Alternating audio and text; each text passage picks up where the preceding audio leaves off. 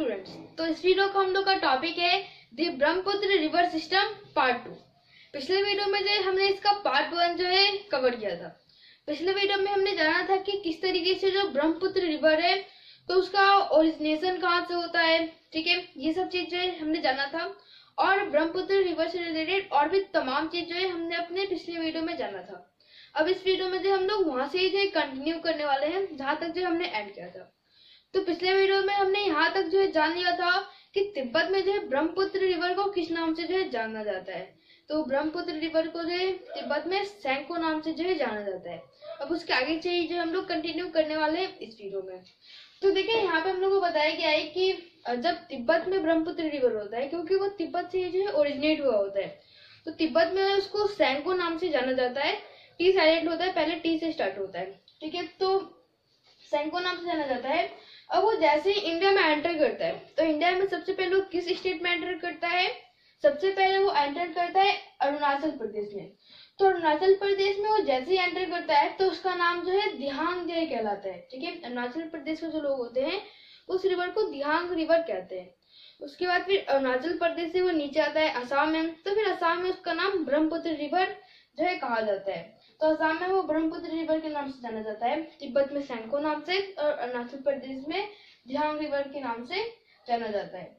अब जैसे ही वो अरुणाचल प्रदेश में आता है तो उसको बहुत सारे ट्रिब्यूटरी जो है ज्वाइन कर लेती है। जैसे कि लोहित एक ट्रिब्यूटरी है, ऐसे और भी तमाम ट्रिब्यूटरी जो है अरुणाचल प्रदेश में जो है ब्रह्मपुत्र रिवर को ज्वाइन कर लेती है। अब जो तिब्बत में जो जो ब्रह्मपुत्र रिवर है वो फ्लो कर रही होती है, और जब इंडिया में आके फ्लो करती है तो ये कितना जो है वाटर कैरी करती है, ये जो बहुत ज़्यादा वेरी करती है। यानी कि रिवर की वॉल्यूम यानी कि जब तिब्बत में जब फ्लो कर रही होती है तो वो बहुत ज़्यादा उसके अंदर कम वाटर होता है, और बहुत ज़्यादा कम जगह पे जो है वो फ्लो कर रही होती है। लेकिन जैसे ही वो जब इंडिया में आती है तो उसका जो बेड होता है, वो भी बड़ा हो जाता है, ठीक है? और बहुत वो जो स्प्रेड हो जाती है, और फिर वो जो फ्लो करना स्टार्ट कर देती है। तो इसका क्या रीजन है? जिसके वजह से जो तिब्बत है, वहाँ पे जो है वो बहुत ज़्यादा पतली रिवर होती है, और इंडिया में आके उसका जो बेड होता है, वो बहुत ज़्यादा बड़ा हो जाता है वो स्प्रेड हो जाती है, ठीक है? और इस रिवर के अंदर जो वाटर की जो वॉल्यूम है, वो भी बहुत ज़्यादा हो जाती है इंडिया में आकर। तो इसका क्या रीजन है? तो इसका ये रीजन है कि जो तिब्बत वाला जो रीजन है, ठीक है तो वो ड्राई है, यानी कि वो सूखा टाइप का जो वहाँ पे रीजन है, जिसकी वजह से जो रिवर है, उसको पानी कहाँ से मिलता है? जो हिमालयन माउंटेन है, उसके ग्लेशियर से मिलता है, ठीक है, जो मोल्टेड मेल्टेड स्नो होता है, वो जो उस रिवर में आता है, और फिर उस रिवर का पानी वो बनता है। इस तरीके से वहाँ पे पानी आता है, और तिब्बत में हरियाली है नहीं कि और कई चीज़ें जैसे बारिश की वजह से जो उसमें पानी भरे। तो वो जो मेल्टेड स्नो होता है, उसके ज़रिए जो है, उस रिवर के अंदर पानी आता है। लेकिन जैसे ही वो अरुणाचल प्रदेश में एंटर करता है तो अरुणाचल प्रदेश क्या है? अरुणाचल प्रदेश जो है ट्रॉपिकल रीजन है, ठीक है? ट्रॉपिकल रीजन में जो है, अरुणाचल प्रदेश आता है। और ट्रॉपिकल रीजन में क्या होता है कि यहाँ पे जो है, बहुत बड़े बड़े फॉरेस्ट पाए जाते हैं, यहाँ पे बारिश जो है बहुत ज़्यादा होता है। तो इसकी वजह से होता है क्या है कि जैसे वो अरुणाचल प्रदेश में एंटर करता है तो जो ग्लेशियर से जो बर्फ़ पिघल पिघल के रिवर में आ रहे हैं, वो तो आ ही रहे हैं। साथ में जो बारिश हो रही है वहाँ पे, उसके भी जो वाटर है, वो भी जो उस रिवर में जाके मिल रहे हैं। जिससे ये जो रिवर होती है, ये और ज़्यादा जो फैलने लगती है और फिर एक बड़ी रिवर जो इंडिया में आते आते तक बन जाती है। तो यही रीजन है कि तिब्बत में ये रिवर बहुत ज़्यादा पतली होती है और इंडिया में आते आते वो जो है मोटी हो जाती है। ठीक है, इसके रीजन जो है, हमने जान लिया। तो ट्रॉपिकल रीजन ऐसा, वहाँ पे बारिश बहुत ज़्यादा होती है। इसलिए वो जो रिवर है, वो अपने आप को स्प्रेड कर लेती है। क्योंकि ग्लेशियर से जो मेल्टेड स्नो आ रहा है, वो तो आ ही रहा है। साथ में जो रेन से जो वाटर आ रहा है, वहाँ पे बारिश भी बहुत ज़्यादा होता है इंडिया के और सारे रीजन के मुकाबले में। तो इसलिए वहाँ पे क्या होता है कि वो जो रिवर है, उसमें पानी जो भरते ही जाता है। ठीक है? तो ये जो है एक, जो रीजन है। और वो इंडिया में एंट्री करते हुए जो उसके जो वाटर होता है, वो लार्ज अमाउंट में हो जाता है, ठीक है? और लार्ज अमाउंट में जो है, वो वाटर कैरी करना स्टार्ट कर देती है। अब साथ में जो लार्ज अमाउंट का जो वाटर वो कैरी करती है, साथ में वो जो है सेडिमेंट्स भी लाती है, ठीक है? अब सेडिमेंट्स लाती है तो हमने जो है, जाना था कि रिवर एंड आइलैंड्स के बारे में जो है, हमने अपने प्रीवियस वीडियो में जो है, जाना था। जिसमें होता क्या है कि जो रिवर होती है वो क्या करती है कि जो सेडिमेंट्स वो लेके आती है, वो अपने बीचों बीच में जो है छोड़ना स्टार्ट कर देती है। जिससे जो रिवर के बीचों बीच में एक आइलैंड बन जाता है, जिसको रिवर आइलैंड के नाम से जाना जाता है। तो हमने जाना था कि जो ब्रह्मपुत्र रिवर है, वहाँ का, वहाँ पर जो है world largest river and island जो है पाया जाता है।